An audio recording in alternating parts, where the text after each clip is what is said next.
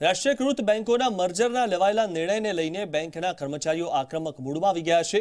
જામનગરમાં તમામ રાષ્ટ્રીયકૃત બેંકના કર્મચારીઓએ હડતાલ પાડી હતી અને બેંકો સજ્જડ બંધ રહી હતી. ગુજરાત બેંક વર્કર્સ યુનિયનના નેજા હેઠળ બેંક કર્મચારીઓ હડતાલમાં જોડાયા હતા. મર્જરના વિરોધમાં બેંક કર્મચારીઓ ભેગા થયા હતા અને સરકાર સામે સૂત્રોચ્ચાર કર્યા હતા. મર્જરના નિર્ણયને પરત ખેંચવા માટે અચોક્કસ મુદતની હડતાલ કરવાની ચીમકી કર્મચારીઓએ ઉચ્ચારી હતી.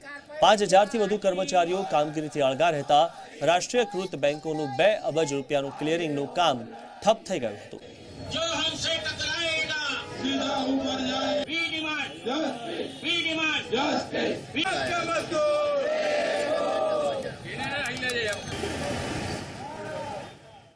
આજે જામનગરની એકવીસ રાષ્ટ્રીયકૃત બેંક છે. એ આ જે સરકાર છે, એલા છ, આઠ મહિનાથી આ મર્જરની જે વાંસે પડેલ છે, મર્જરની જે જાહેરાત કરેલ છે, એ મર્જર સામે કર્મચારી છે, યુનાઇટેડ ફોરમ ઓફ બેંક એમ્પ્લોઈઝના નેજા હેઠળ આજની તારીખ છવ્વીસ બારના રોજ એક દિવસની હડતાલ પાડે છે. ઘણા વખત આ આ બેરી સરકાર છે, એ અમારા મર્જરનો વિરોધ સાંભળતી નથી અને જો નહીં સાંભળે તો અગાઉ, અગાઉના દિવસોમાં અમે અનિશ્ચિત મુદતની હડતાલ આપશું.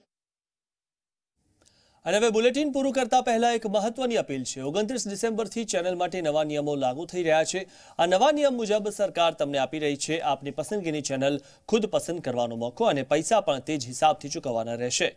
તો આપની પસંદગીની ન્યૂઝ ચેનલ ઝી ચોવીસ કલાક જોવા માટે ઓગણત્રીસ ડિસેમ્બર પહેલા આપના સર્વિસ પ્રોવાઈડર પાસે ઝી ચોવીસ કલાકની માગણી કરો અને તે હિસાબથી તમારું મહિનાનું પેક પસંદ કરો. વધુ જાણકારી માટે આપ અમને નાઇન પર